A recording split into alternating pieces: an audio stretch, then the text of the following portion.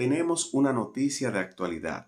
El padre del joven David de los Santos dijo que la justicia no ha mostrado interés en el caso.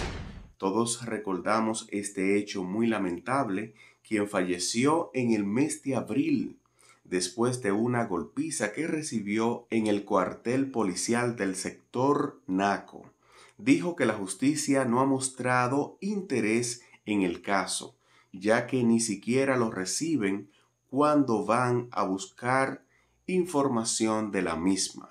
Esto es vergonzoso, un caso más que se cierra y no hay luz sobre él. Con el rostro marcado de dolor y desanimado, el señor Juan de los Santos, padre del malogrado joven, explicó que ha visto cómo la justicia les ha dado la espalda en el proceso cuando esperaban otros resultados. Sabemos que tanto la plaza, la seguridad de aquel lugar y los policías del sector de Naco tienen responsabilidad penal. Sin embargo, la justicia dominicana se ha hecho la vista gorda, ya que se trata de sectores de poder.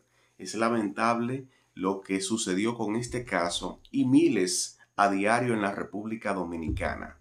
Tampoco tenemos ninguna información del caso de Leslie Rosado. Todo se ha quedado ahí, siendo familia de poder, gente eh, de gran nombre en la sociedad, pudiente, y nada.